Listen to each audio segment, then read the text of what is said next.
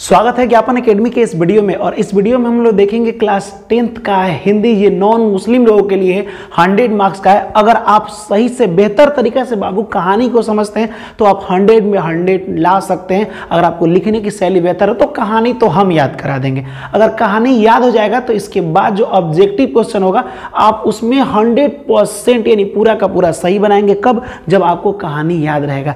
तो इस four lesson को देखिएगा, हिंदी का है, जो कि क्या कर है, हज़ार हजारी प्रसाद द्वारा लिखी एक निबंध है। निबंध है नहीं, ललित निबंध है, समझिएगा। ललित निबंध का मतलब क्या होता है? लाल लाल वाले से ललित निबंध मत समझिएगा। बाबू, ललित निबंध का मतलब होता है, निबंध जो नॉर्मल किसी चीज़ के बारे में लिख दिया गया है और उसको थोड़ा सा मज़ा डाल करके इंटरेस्ट डाल करके, हँसी वगैरह बना करके अगर आप निबंध लिख रहे हैं तो उसी को ललित निबंध कहते हैं। उसमें रोचक बातें आती हैं, ठीक है? तो आपसे पूछा जाएगा हजारी प्रसाद द्विवेदी द्वारा लिखा गया जो ये क्या है तो ये ललित निबंध है, ठीक है? और ये हजारी पर्वत द्विवेदी द्वारा लिखी गई जो ललित निबंध है, उसका क्या नाम है? तो नाखून क्यों बढ़ते हैं? अब ट्रिक कैसे याद रखिएगा, नाखून क्यों बढ़ते हैं? किसने लिखा, पूछेगा? तो आप कैसे बोलिएगा? हजारी प्रसाद द्विवेदी तो समझिएगा। नाखून काउंटिंग होता है ना, गिनती हो जाता है, कितना होता है? दस हाथ में का और दस पैर में का, बीस। यानी ये काउंटिंग हो जा रहा है हजारी पर। और हज़ार जो आ रहा है ना, हज़ार भी एक प्रकार का काउंटिंग है। तो दोनों से कॉम्बिनेशन बना लीजिएगा। यानी नाखून भी एक प्रकार से काउंट हो जाएगा और आपका हजारी प्रसाद, ये भी एक काउंट हो जाएगा। तो इस हिसाब से हजारी प्रसाद द्विवेदी का लिखे नाखून क्यों बढ़ता है? यहाँ देखिए। इनका जन्म 1907 में हुआ था। उत्तर प्रदेश, यानी बिहार के जो सटा हुआ राज्य है, उत्तर प्रदेश में होता है। एक जिला है बलिया जिला। ठीक है? बलिया जिला उत्तर प्रदेश में है और यही यहीं पे हुआ था। दुबे के छपरा नामक एक जगह था, वहीं पे हुआ था। 1807 में जन्म हुआ और ये उन्नीस सौ उनासी में इनकी मृत्यु हो गई। क्या हो गया? उन्नीस सौ उनासी में मृत्यु हुई। कहाँ हो गई तो दिल्ली में मरे। यानी कि जन्म लिए यूपी में और मरे जाके दिल्ली में। इसका मतलब कि काफ़ी फ़ेमस हो चुके थे, इसीलिए बड़े बड़े शहरों में घूम रहे थे तो दिल्ली में इनकी मृत्यु हो गई। अब ये लेखक जो थे, बहुत ही अच्छे अच्छे किताब लिखे और इन किताब को लिखने के बाद इनको खिताब मिला। खिताब का मतलब पुरस्कार होता है, ठीक है? तो देखिए कौन कौन से रचना है? अशोक के फूल आपसे पूछे जाएगा कि अशोक का फूल किसकी रचना है? तो ये किसका है? हजारी प्रसाद द्विवेदी का है। यहाँ देख, कल्पलता किसका है? विचार और वितर्क किसका है? सबसे इंपॉर्टेंट इनमें है और लोक पर्व ठीक है? और लोक पर्व किसकी रचना है? जो हजारी प्रसाद द्विवेदी इन्हीं पर इनको पुरस्कार भी मिला था। यहाँ आप देख सकते हैं कि अलोक पर्व पर साहित्य अकादमी पुरस्कार मिला था। अ से अलोक अ से अकादमी पुरस्कार, ठीक है? तो ये आप दोनों याद रखिएगा, साहित्य अकादमी इंपॉर्टेंट है। अब देखिए, ये क्या लिखे प्राचीन भारत का कलात्मक उसके बाद से लिखे हैं कलात्मक विनोद। और ये क्या है? निबंध संग्रह है। विश्व भारती ये भी कई बार पूछा गया विश्व भारती किसके द्वारा लिखा गया है? ये इसके रचयिता कौन है? तो कौन है? हजारी प्रसाद द्विवेदी। यहाँ देखिए वाण भट्ट की अल्पकथा। उसके बाद से यहाँ पे लिखा है चारू चंद्रलेख पुनर् पुनर्नवा। पुनर्नवा, यहाँ पे अनाम दास का पोथा ये भी भी आई है। आपसे पूछा गया, अनाम दास का पोथा किसके द्वारा रचित है या किसके द्वारा लिखा गया है? तो बाबू, आप क्या कहिएगा? आप हजारी प्रसाद द्विवेदी बनेगा। पृथ्वीराज रासो, नाथ सिद्धो का, की बनिया, यहाँ पे पत्रिका का संपादन।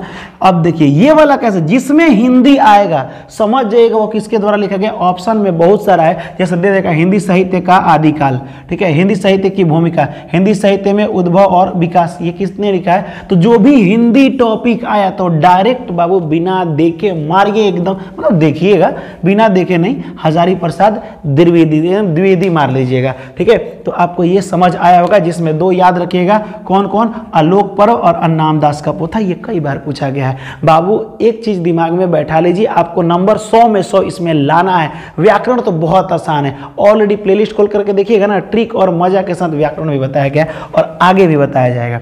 अब देखिए, इतना सब काम करेंगे तो पुरस्कार भी मिला तो पुरस्कार मिला, सम्मान मिला, उपाधि मिली, क्या क्या मिला? तो अलोक पर्व जो लिखे थे, साहित्य अकादमी पुरस्कार, भारत सरकार द्वारा पद्म भूषण इसको, इनको मिला था, ठीक है? सम्मान दिया गया लखनऊ विश्वविद्यालय द्वारा, क्या?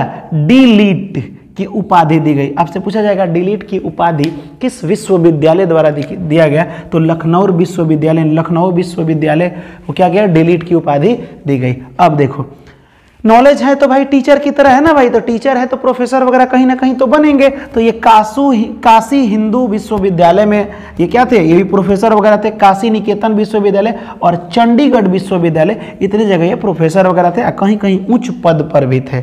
ठीक है?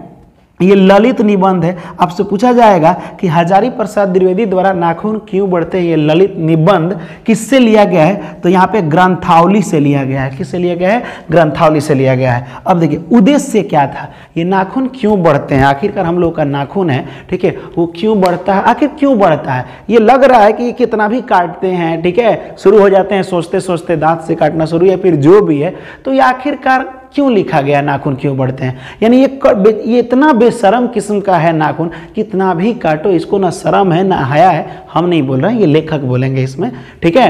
वो आखिरकार ये बढ़ता क्यों है? तो ये किसकी निशानी है? आखिर यही सब इसमें पढ़ना है, ठीक है? अब देखिए, इसका उद्देश्य क्या था कि ये जो भी है हमारे पूर्वजों की निशानी है कि हम पहले क्या थे? अभी ना इंसान बन गए, पहले जानवर थे, इसका काम पड़ता था किसी को फाड़ने में, किसी को मारने में, कोई आप पर अटैक कर रहा है, यानी कि कोई आपको, कोई जानवर अटैक कर रहा है तो उसको पकड़ करके उसको फाड़ने में। इस सब में भी हम लोग पशु थे, ठीक है? तो नई पीढ़ी को सौंदर्य बोध, इतिहास की चेतना कि इतिहास में हम लोग कैसे थे और संस्कृति आत्मगौरव का भाव जगाता है कौन? ये कहानी, ठीक है? कि हमारी संस्कृति पहले कैसे थी, अब हम लोग कितना डेवलप हुए और अच्छी बात है डेवलप हुए हैं तो ठीक है?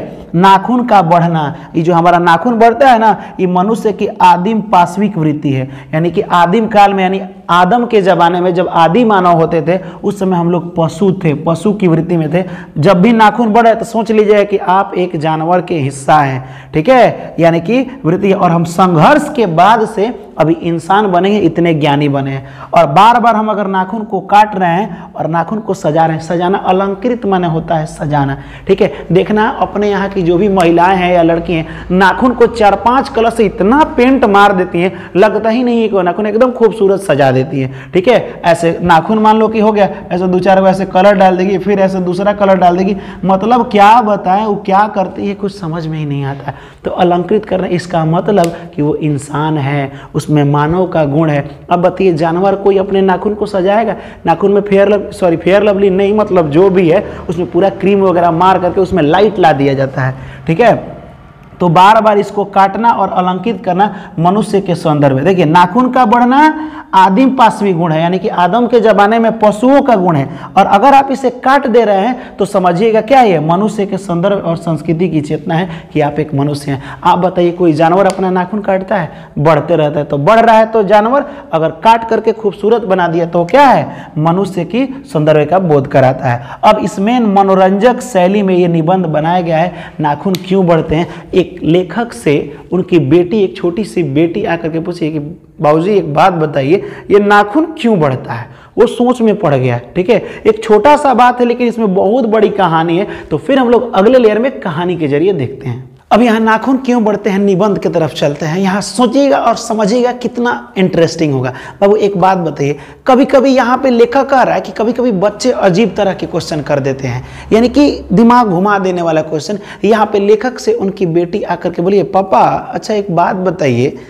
ये जो नाखून है, ये बार बार क्यों बढ़ जाता है? हर तीन दिन पे बेशरम की तरह बार बार इसको हटाते हैं और अपने से आ जाता है। आखिरकार ये बार बार क्यों बढ़ जाता है? ऐसा ऐसा क्वेश्चन आपके घर भी, अगर छोटा सा बच्चा होगा, ठीक है तो आपसे ये पूछेगा, पापा पापा आपसे नहीं कहेगा, अभी आप पापा बनने के लायक नहीं है, ठीक है? पापा आपको नहीं बोले, गाँव में छोटा सा लड़का हो या घर पे छोटा सा लड़का हो तो आपसे कुछ भी कहेगा चाचा बोलेगा, भैया बोल सकता है, ठीक है? वो अगर कहेगा अच्छा एक बात बताइए। या फिर अपनी मम्मी से अलग अलग अजीब क्वेश्चन करेगा, आप सोच में पड़ जाएँगे कि एक बात, ये जो आसमान है, ये जा करके कहीं गिरा होगा ना तो ये कहाँ गिरा होगा? ऐसे क्वेश्चन करेगा।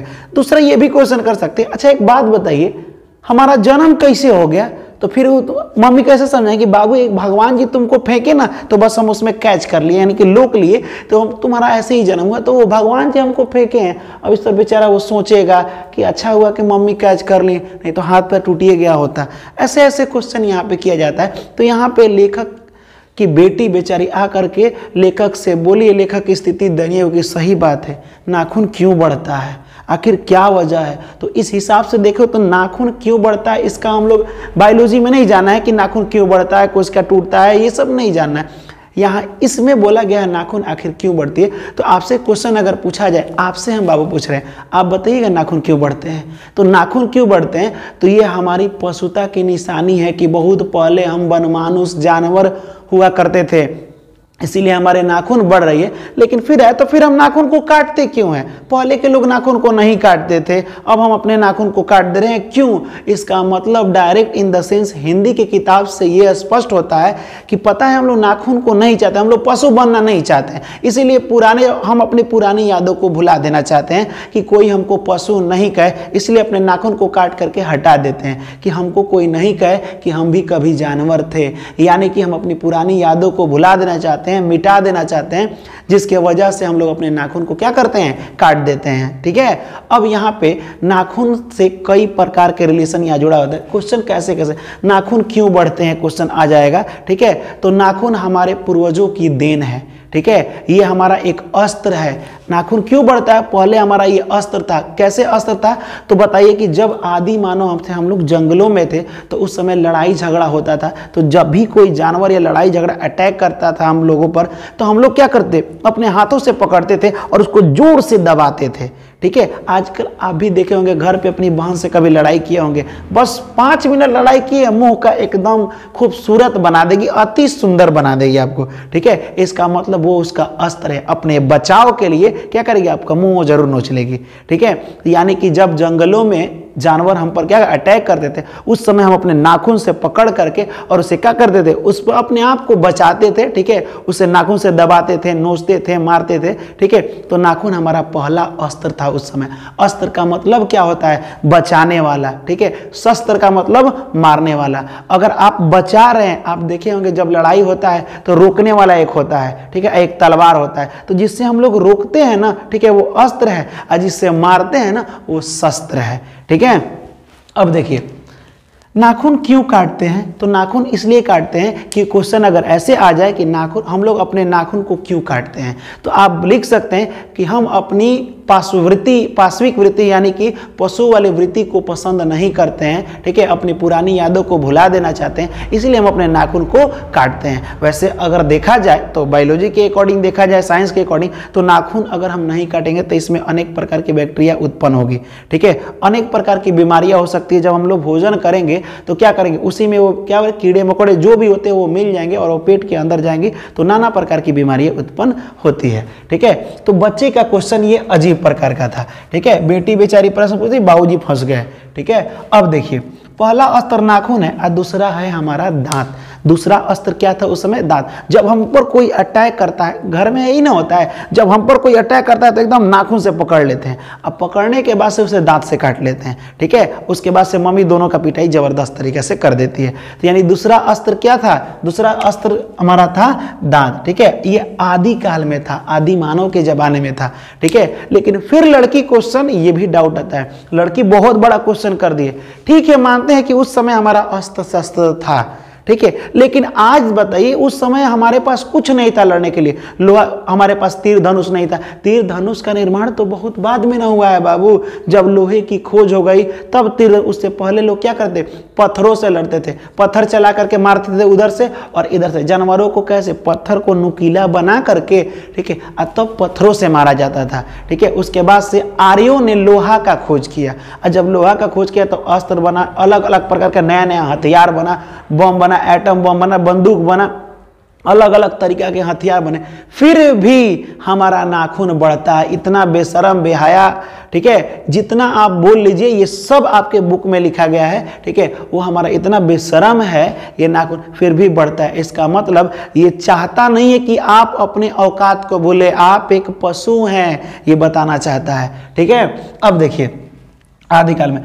अब वहाँ पे देवताओं के राजा का व्रज, ठीक है? देवताओं के राजा का जो व्रज था, वो दधीची मुनि के हड्डियों से बना था। पहले होता क्या था कि पहले तो अपने नाखून से लोग क्या करते थे? रोकते थे और पत्थर वगैरह से मारते थे, लकड़ी से मारते थे। लेकिन अगर मज़बूत हथियार वगैरह हड्डियों द्वारा भी बनाया जाता था, मज़बूत जैसे कि यहाँ पे आपसे पूछा जाएगा क्वेश्चन, दधी ची मुनि के हड्डियों से बना अस्त्र किसका था? तो देवताओं के राजा का जो ब्रज बना था, उनका था। यानी कि या फिर पूछेगा कि देवताओं के राजा का ब्रज किस मुनि के हड्डियों से बना था? तो दधीची मुनि के। अब ये दधीची मुनि कौन थे? बहुत ही प्रतापी, एक तरह से बोला जाए तो सन्यासी थे, जिन्होंने तपस्या करके अपने हड्डियों को मज़बूत कर लिया था। और वही जा करके भगवान कौन भगवान ब्रह्मा जी, भगवान इंद्र सॉरी भगवान इंद्र आ करके और बोले हैं कि अपने हड्डी, इनसे इनके हड्डियों का दान मांगे अस्त्र वगैरह बनाने के लिए। तो पहले हड्डियों का भी अस्त्र बनता था, हड्डियों का अस्त्र मज़बूत होता था और उससे भी जानवरों को मारा जाता था, क्योंकि आदि मानव उस समय क्या करते थे? जानवरों का शिकार करते थे तो शिकार कैसे करेंगे? हथियार होना चाहिए ना। तो हड्डियों का भी अस्त्र होता, पत्थरों का भी होता था नुकीला नुकीला ठीक है? इस हिसाब से क्या हुआ? आदि मानव का जमाना था। अब देखिए, धीरे धीरे मनुष्य विकास की तरफ़ बढ़े। ठीक है, मनुष्य विकास करने लगा। अब देखिए, आपसे क्वेश्चन पूछा जाएगा कि नाखून हमारा अस्त्र है कैसे? ठीक है तो नाखून हमारा अस्त्र है क्योंकि जब कोई हम पर प्रतिघात करता है, लड़ाई करता है तो हम अपनी रक्षा के लिए उसे क्या करें? रोकने का काम करते हैं। ठीक है, इस प्रकार से नाखून हमारा अस्त्र है। ठीक है, अब बताइए कि इस, आगे देखिए यहाँ पे। लोहे का आविष्कार हो गया। वत्सयान के काम सूत्र में पता है क्या लिखा गया? लिखा गया कि नाखून को सजा, क्या करना? संवारना, मनोरंजन के लिए त्रिकोण। आप देखे होंगे कि घर में जब औरतें होती हैं तो अपने नाखून को सजाती हैं। और उस समय भी, आदि काल में भी लोग अपने नाखून को बड़ा इज़्ज़त देते थे, ठीक है? पहले अगर आज के ज़माना में अगर थोड़ा नाखून बढ़ जाए तो टीचर लोग बड़ी मार मारते हैं, घर पे डांट सुनने को मिलता है, ठीक है? लेकिन उस समय नाखून कट जाए तो बड़ी डांट सुनना पड़ता होगा। माने ये अनुमान लगाया गया, क्योंकि उस समय नाखून उन लोगों का प्रमुख अस्त्र था जो हमेशा साथ रहने वाला था। ये एक सहज वृत्ति थी जो हमेशा हमारे साथ रहने वाली थी, जो अपने से ये बढ़ता है। कुछ ऐसी चीज़ें जो अपने से बढ़ता है, किसी को बढ़ाने की ज़रूरत नहीं है। नाखून हो गया, बाल हो गया, ठीक है, दांत हो गया, ये अपने से निकलते हैं। यहाँ देखिए उस समय आपसे पूछा जाएगा, नाखून को संवारना। किसके काम सूत्र में लिखा गया है? तो वत्सयान के काम सूत्र में। उस समय अपने नाखून को लोग त्रिभुज टाइप का काट के बनाते थे। खूबसूरत। आज भी लड़कियाँ या औरतें आप लोग देखे होंगे घर में अलग अलग तरह से नाखून को सजाती हैं। ठीक है? वर्तलोक, वर्तुलाकार, यहाँ पे चंद्रकार, या फिर यहाँ देखिए, उस पर मोम लगाती हैं। मोम का यहाँ पे देखिएगा, सिक्तम, स्तिक्तम हो गया, और यहाँ अल कतक यानी कि आलता लगाती हैं, पेंट करती हैं, ताकि बहुत ही खूबसूरत दिखे। तो नाखून का अलग अलग प्रकार कहाँ पे? तो यहाँ पे वत्सयान के काम सूत्र में देखने को मिला है। ठीक है, बहुत लोग नाखून को पसंद करते हैं और बहुत लोग ना पसंद करते हैं। आज भी देखना, अगर घर में कोई लड़की नाखून बढ़ा तो देखो, कैसे चुड़ैल की तरह नाखून बढ़ा कर रखती है। नाखून क्यों नहीं काटती है? लेकिन वो अपने खूबसूरती के लिए तीन चार कलर का पूरा पेंट मार करके खूबसूरत बना के रखती है। ठीक है, एक हाथ में अधिकतर लड़कियाँ नाखून बढ़ा के रखती हैं खूबसूरत लगने के लिए। गौर देश में नाखून को पसंद किया जाता था, ये आप याद रखिएगा, गौर देश में नाखून को बाबू क्या किया जाता था? पसंद किया जाता था। यहाँ देखिए, कालिदास बोले हैं, अब देखिए हुआ क्या। ठीक है? गौर देश में नाखून को पसंद करते थे और कालिदास बोले हैं कि सभी पुराने अच्छे नहीं होते और सब नए खराब नहीं होते। ये किस बात पर बोले हैं? तो देखिए, कहा जाता है, यहाँ समझिएगा। बंदरिया बंदरिया मनुष्य की आदर्श नहीं है।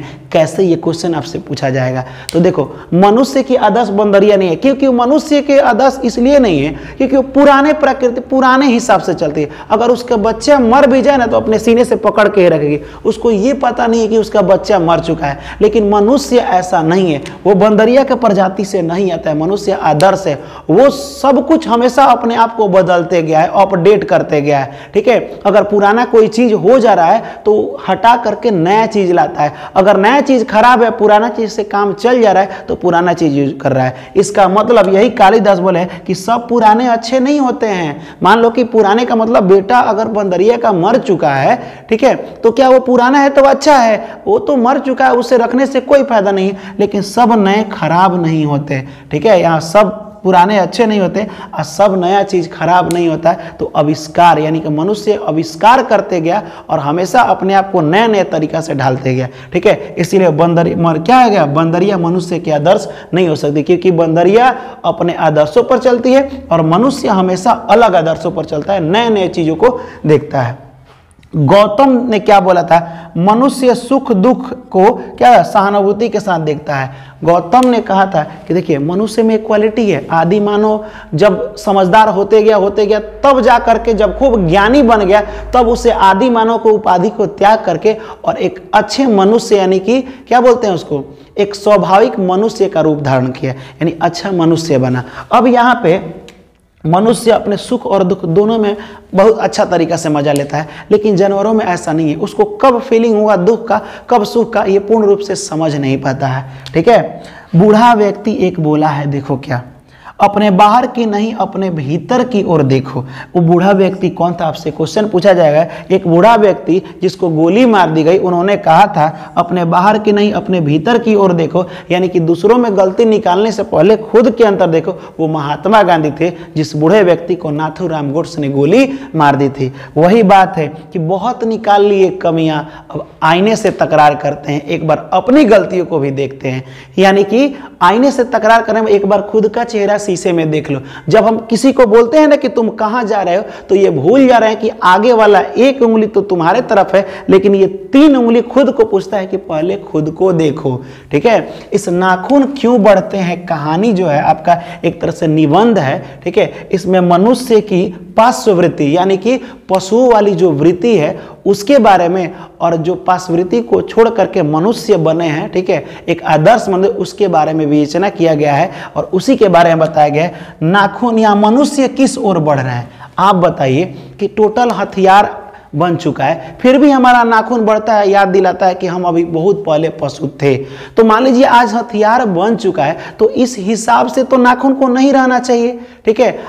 अब बताइए कि प्रोटेक्शन के लिए, सुरक्षा के लिए हथियार को बनाया गया। लेकिन आज देखिए, कुछ देर के लिए अमेरिका क्या किया? जापान पर परमाणु बम गिरा दिया। इस तरह से देखा जाए तो वो तो पशु वाला हरकत कर रहा है ना। लोगों को जान से मार रहा है, बेवजह मार रहा है। तो इससे कन्फ्यूज़न है। कि आखिरकार हमारा दुनिया जो है किस ओर बढ़ रहा है? मनुष्यता की ओर बढ़ रहा है या पशुता की ओर बढ़ रहा है? पहले जो भी अस्त्र रहते थे, रक्षा के लिए रखा जाता था। कोई अटैक करेगा तो रोकेंगे। मनुष्य क्या यही गुण है, ठीक है? लेकिन आजकल दूसरे को मारने में किया जा रहा है। यानी आपसे क्वेश्चन पूछा जाए कि मनुष्य किस ओर बढ़ रहा है? मनुष्यता की ओर या पशुता की ओर? से किस ओर बढ़ रहा है? ये आपसे इंपॉर्टेंट क्वेश्चन किया जाएगा। यहाँ देखिए, नाखून पूछ की तरह झड़ जाएँगे। बहुत पहले हमारा पूछ भी था जब हम जानवर थे, उस समय हमारा पूछ भी था, जिस तरह हमारा पूछ झड़ गया, क्या उसी तरह हमारा नाखून भी झड़ जाएगा? क्या हमारी पुरानी यादें अब कुछ नहीं रहेगी? दांत भी झड़ जाएगा तो सोच लीजिएगा। अगर बोलिएगा सब झड़ जाएगा तो दांतों झड़ जाएगा। तो आप किस तरह दिखेंगे, आप समझिएगा, बाल भी उन्हीं का रूप है, ठीक है? बाल भी झड़ जाएगा, सब कुछ खत्म हो जाएगा। तो इस हिसाब से आप देख सकते हैं कि जो नाखून क्यों बढ़ते, एक छोटा, छोटी सी बच्ची एक प्रश्न उठाई है, और उस छोटे से प्रश्न में कितनी बड़ी चुनौतियों का सामना करना पड़ा है, कितना बड़ा बात वो बोल दिए नाखून क्यों बढ़ते हैं? ये वजह आप खुद बताइए कि नाखून क्यों बढ़ता है। तो ये हमारी क्या है?